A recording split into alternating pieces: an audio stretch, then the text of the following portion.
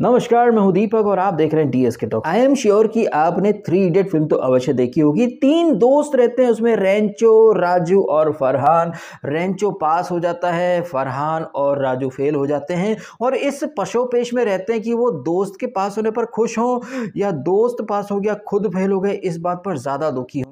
ऐसा ही कुछ आपको रियल लाइफ में देखने को मिल रहा है। यहाँ पर भी तीन दोस्त हैं पंड्या, बंड्या, अंड्या। पंड्या जो है, उसे मज़ा पर मज़ा मिले जा रहा है और पंड्या के जो अंड्या बंड्या हैं, उन पर बीसीसीआई का डंडिया पड़ गया और ये अंड्या बंड्या जो है, ये बीसीसीआई के सेंट्रल कॉन्ट्रैक्ट से बाहर चले गए हैं। अब यहाँ पर श्रेयस अय्यर और ईशान किशन, यानी कि अंड्या बंड्या का जो हाल है, वो बिल्कुल थ्री इडियट पिक्चर में राजू रस्तोगी और फरहान जैसा हो चुका है। वहाँ पर आपने देखा था कि राजू रस्तोगी और फरहान को बिगाड़ता कहीं ना कहीं रेंच ये लेकिन रेंचो खुद पास हो जाता है। उसी तरह से यहाँ पर ये श्रेयस अय्यर और ईशान किशन, इन्होंने सोचा कि भाई, पंड्या को तो यार हर तरीके से प्रिवरेज मिलते हैं। ये तो डोमेस्टिक नहीं खेलता है, रणजी नहीं खेलता है।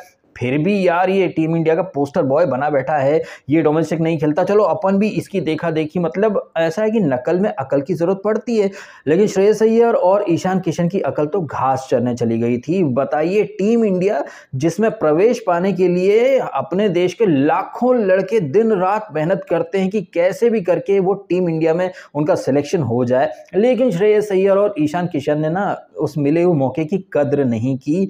ये दोनों वर्ल्ड कप की टीम में थे, भले भले ही ईशान किशन को मैचेस खेलने को नहीं मिले हों, लेकिन वो टीम इंडिया का हिस्सा तो था। टीम इंडिया के साथ वो ट्रेवल कर रहा था ड्रेसिंग रूम शेयर कर रहा था। लेकिन पता नहीं कौन सा कीड़ा काटा ईशान किशन को कि वो बगैर बताए उसने पर्सनल रीजन से छुट्टी मांग ली। और भैया टीम इंडिया में तो ऐसा है कि एक जाए तो सौ आने के लिए खड़े रहते हैं। ईशान किशन गया, ध्रुव जुरेल का वहाँ पर एकदम से लक चमक गया। हालाँकि ध्रुव जुरेल से पहले के एस भरत का लक चमक गया था, लेकिन के एस भरत ने अपने जो मिले हुए मौके थे, उन पर वो चौका नहीं लगा पाया। हालाँकि इसके बावजूद के भारत जो है ना, वो टीम इंडिया के सेंट्रल कॉन्ट्रैक्ट में सी कैटेगरी में है। उसके साथ साथ रजत पाटीदार भी है। भाई साहब, रजत पाटीदार और K S Bharat central contract का पार्ट है, लेकिन श्रेयस अय्यर और भैया पंद्रह करोड़ मल नहीं है। गजब बेइज्जती, भाई साहब, गजब बेइज्जती। गजब बेइज्जती है। हालाँकि मैंने सोशल मीडिया पर एक दो वीडियोस देखे जहाँ पर कुछ इंस्टाग्राम के इन्फ्लुएंसर्स जो हैं, वो एक अलग ही नैरेटिव चला रहे हैं कि बताओ यार, ध्रुव जुरेल और सरफराज जिन्होंने अच्छा परफॉर्म किया है, वो सेंट्रल कॉन्ट्रैक्ट का पार्ट नहीं है, जबकि के भरत और रजत पाटीदार दोनों जो है, ये दोनों जो है, वो सेंट्रल कॉन्ट्रैक्ट का पार्ट बन चुके हैं। तो मुझे लग रहा है कि इंस्टाग्राम के जो इन्फ्लुएंसर्स हैं, उन्होंने बीसीसीआई द्वारा रिलीज़ किया हुआ प्रेस नोट जो है, वो पूरा नहीं पड़ा है। उसमें नीचे की लाइन में लिखा है वहीं पर जहाँ पर उन्होंने लिखा है कि ईशान और श्रेयस को तो उन्होंने, यानी बीसीसीआई ने कॉन्ट्रैक्ट के लिए कंसिडर ही नहीं करा, जबकि दूसरी तरफ़ ध्रुव जुरेल और सरफराज जैसे ही जो क्राइटेरिया है, यानी कि तीन टेस्ट मैच इन दोनों का भी डेब्यू हुआ है और दोनों ने ही दो दो टेस्ट मैच खेले हैं, जैसे ही वो धर्मशाला टेस्ट में प्लेइंग इलेवन में आते हैं ऑटोमेटिकली ध्रुव और सरफराज कॉन्ट्रैक्ट की जो सी कैटेगरी है, जिसके तहत साल का एक करोड़ रुपए मिलता है इन सभी खिलाड़ियों को, उस कैटेगरी में वो ऑटोमेटिक आ जाएँगे। एनीवे हम यहाँ बात कर रहे थे ईशान किशन और श्रेयस अय्यर की। देखिए, ईशान किशन और श्रेयस अय्यर, ये दोनों काफ़ी टैलेंटेड है, इसमें कहीं कोई शक की बात नहीं है बट इनका जो बिहेवियर और हाँ एक बहुत बड़ी बात है जो कि आई एम श्योर बहुत सारे लोगों ने इग्नोर कर दी होगी, ये जब वर्ल्ड कप का जब फाइनल था और हमारी टीम इंडिया हार गई थी ड्रेसिंग रूम में मोदी जी आए थे और मोदी जी जब सारे प्लेयर से मिल रहे थे तो वहाँ पर श्रेयस अय्यर के मुँह से क्या निकला था? मोदी जी को देख करके थोड़ा ऑकवर्ड रिएक्शन था और वॉट द वक्फ ऐसा करके कुछ वो बोला था। और एक टेस्ट मैच के दौरान जब मोदी जी आ रहे थे प्लेयर से मिलने, तब ईशान किशन ने वहाँ पर बेहद ही भद्दा वाला कुछ बिहेवियर दिखाया था। अपनी पतलून के अंदर उसने हाथ घुसेड़ लिया था सो देट हाथ मिलाना ना पड़े।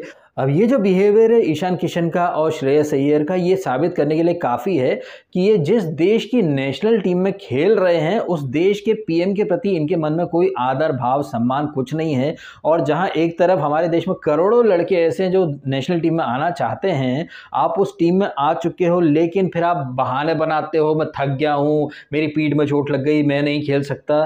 तो जब आप उस लेवल पर खेल ही नहीं सकते हो तो उस टीम में आई आई डोंट थिंक कि आपकी कोई जगह बनती है, क्योंकि आप ही की तरह कई सारे लड़के हैं जो कि एक कॉल का वेट करें कि कब उन्हें मौका मिल जाए। तो मिले हुए मौके की कदर नहीं करी ये श्रेयस अय्यर ने, ईशान किशन ने। आपने टीम की रिस्पेक्ट कर रहे हो, ना उस देश के पीएम की रिस्पेक्ट कर रहे हो, जिस देश की टीम में आप खेलने आए हो, खेलना चाहते हो। आई थिंक ऐसे एक नहीं, कई सारे रीज़न है जिसकी वजह से इन दोनों के पिछवाड़े पर लात पड़ी है। और ये लात पड़ना मैं तो जायज़ मानता हूँ। एंड आपने भी देखा होगा कि इन्हीं लाइन्स पर रोहित शर्मा ने एक स्टेटमेंट भी दिया कि जिन खिलाड़ियों में भूख नहीं है टेस्ट क्रिकेट की उन खिलाड़ियों को मौका देकर के अपना टाइम वेस्ट नहीं करना चाहता बीसीसीआई बट इन सारी चीज़ों के बीच में एक चीज़ निकल के आती है कि हार्दिक पंड्या भाई, वो तो रेड बॉल क्रिकेट खेलता ही नहीं है। लेकिन इसके बावजूद हार्दिक पंड्या जो है, वो टीम इंडिया में बदस्तूर बना हुआ है। वो भी तब, जबकि वो डोमेस्टिक क्रिकेट नहीं खेलता। और यही तो सबसे बड़ा क्राइटेरिया दिया है बीसीसीआई ने कि ईशान किशन और श्रेयस अय्यर डोमेस्टिक क्रिकेट नहीं खेलते हैं।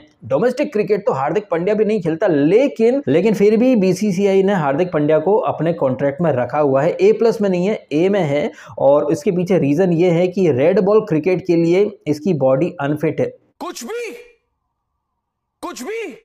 अब भैया ये हार्दिक पंड्या जो ग्राउंड से ज़्यादा जिम में दिखता है, अतरंगी वीडियो डालता रहता है, कभी वो बैटल रूप से उठा पटक करता है, कभी बेंच प्रेस करता रहता है, कभी पुलअप कभी पुशअप्स कभी रनिंग करता फिरता है तो वो हार्दिक पंड्या जो इंस्टाग्राम पर तो खुद को बहुत ज़्यादा फिट दिखाता है, वो ग्राउंड पर इतना अनफिट है कि वो डेलिकेट बेबी बन चुका है और डोमेस्टिक क्रिकेट यानी कि चार दिन का जो रणजी होता है रेड बॉल क्रिकेट वो वाला format Hardik Pandya totally skip कर सकता है, ये परमिशन दे रखी है हार्दिक पंड्या को बीसीसीआई ने। तो भैया डोमेस्टिक में सिर्फ़ चार दिन का क्रिकेट तो नहीं होता है।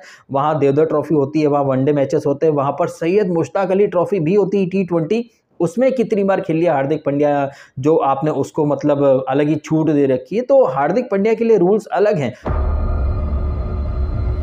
एंड आई फील पंड्या के जो बंडिया अंडिया हैं, उन्होंने भी यही देखा होगा कि भाई, ये भी तो नहीं खेलता डोमेस्टिक अपन भी नहीं खेलेंगे। लेकिन वो भूल गए कि हार्दिक पंड्या एक ऑल राउंडर है, जो कि बैटिंग बॉलिंग फील्डिंग तीनों डिपार्टमेंट में अपना जलवा दिखा सकता है। और हमारी टीम इंडिया में जो बेंच स्ट्रेंथ है वहाँ पर बैट्समैन का रिप्लेसमेंट आपको मिल जाएगा बॉलर्स का रिप्लेसमेंट मिल जाएगा, लेकिन ऑलराउंडर हमारे यहाँ गिने चुने दो चार ही है। रविंद्र जडेजा है, अक्षर पटेल है और हार्दिक पंड्या है। चौथा ऑलराउंडर वो वाइल्ड थ्री ऑलराउंडर उसे आजमा करके देख लिया।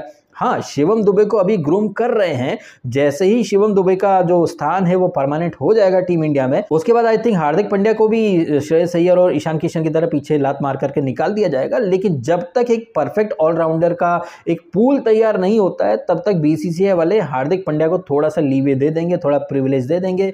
अब आपका क्या मानना है इन सारी बातों के बारे में? कमेंट करके बताइएगा। जिस तरह से ये श्रेयस अय्यर और ईशान किशन ने खुद को खेल से बड़ा मान लिया था, खुद को बीसीसीआई से बड़ा मान लिया था, कहीं ना कहीं इन लोगों का, इन दोनों का जो घमंड है वो बीसीसीआई ने एक सेकंड में चकना चूर करके रख दिया है। साथ ही साथ एक कड़ा मैसेज भी दिया है उन सारे प्लेयर्स को जो खुद को खेल से बड़ा मानने लग गए हैं। और वो भी तब, जबकि उन प्लेयर्स ने इतना कुछ बहुत अच्छा परफॉर्म नहीं किया। वहाँ कोई विराट कोहली या रोहित शर्मा या बुमराह जैसा प्लेयर हो तो उसके लिए बीसीसीआई वाले एक छूट दे देते हैं। लेकिन अभी नए नए जो छपरी टाइप के जो क्रिकेटर्स हैं, वो एक दो मैच अच्छा खेलते हैं टैटू बना लेते हैं, फिर रील्स में छपरापंथी की दिखाने लगते हैं क्रिकेट को साइडलाइन कर देते हैं, जबकि ये क्रिकेट ही है जिसने इन खिलाड़ियों को फेम फ़ैन फॉलोइंग रुपया पैसा सब कुछ दिया है। तो ऐसा कोई खिलाड़ी जो अभी नया नया ही टीम इंडिया में आया है और वो आते से ही खुद को खेल से बड़ा मानने लग जाए तो उसका हाल ईशान किशन और श्रेयस अय्यर जैसा होना लाजमी है। ठीक वैसे ही जैसा फुद्दू फरहान के अम्मी का नाम।